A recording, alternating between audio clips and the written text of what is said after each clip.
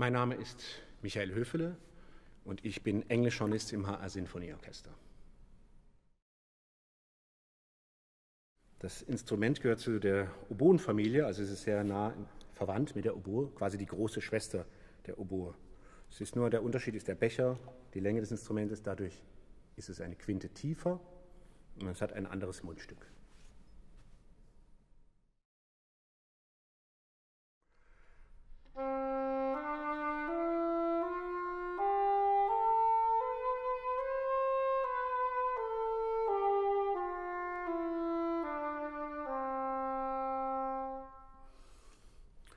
Das Englischhorn oder die Oboe, das sieht alles sehr kompliziert aus. Man denkt, es sind unglaublich viele Klappen, aber die Klappen sind eigentlich fast alle nur Hilfsklappen oder Trillerklappen. Im Grunde genommen sind das Blockflötengriffe, wie auf einer Blockflöte. Von daher relativ einfach von den Griffen. Ja, das Spezielle natürlich an dem Instrument sind die Mundstücke, die Rohre. Wir Oboisten sind unser Leben lang auf der Suche nach dem perfekten Rohr, nach dem fast schon heiligen Gral.